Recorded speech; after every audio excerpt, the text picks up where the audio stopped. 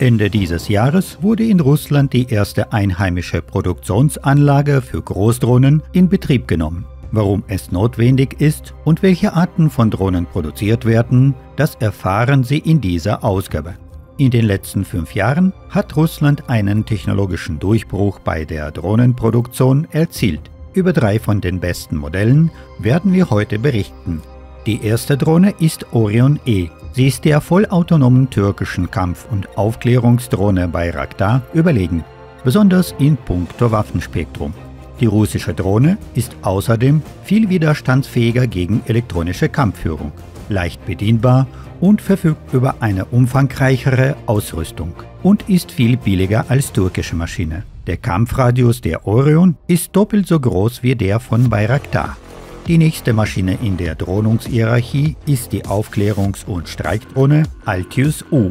Ihr Trumpf ist die künstliche Intelligenz, die es der Militärdrohne ermöglicht, eine beste Route auszusuchen sowie eine gesicherte Möglichkeit bei der Überwindung der Luftverteidigungszone zu finden.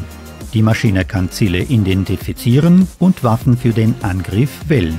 Fachleute gehen davon aus, dass die Effizienz der russischen Maschine gegenüber der Konkurrenz um das 1,4-fache höher ist. Noch ein Modell, Grom, Donner auf Deutsch, verkörpert eine nächste Stufe in der Entwicklung mittelgroßer Drohnen. Nutzlast von 2 Tonnen, Geschwindigkeit 1000 km/h und Aktionsradius von bis zu 700 km.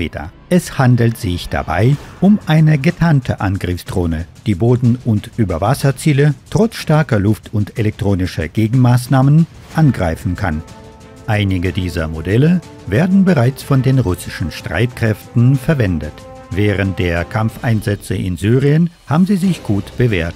Doch bisher wurden russische Drohnen eben in kleineren, vereinzelten Produktionsorten hergestellt.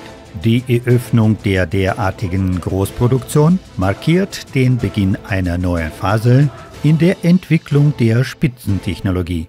Innerhalb einer Rekordzeit, weniger als ein Jahr, wurde eine neue hochmoderne Produktionsanlage gebaut, wo etwa 1500 Arbeitnehmer ihren Job haben. Das Unternehmen plant auch Hubschrauberdrohnen herzustellen. Zum Lieferumfang gehören dann auch Kontrollstationen.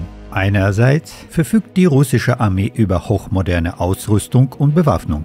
Andererseits beabsichtigt Russland auf dem Drohnenmarkt eine globale Konkurrenz gegenüber führenden Ländern wie Israel und Türkei zu sichern. Abonnieren Sie unseren Kanal, um mehr über gegenwärtige Situation in Russland aus erster Hand zu erfahren.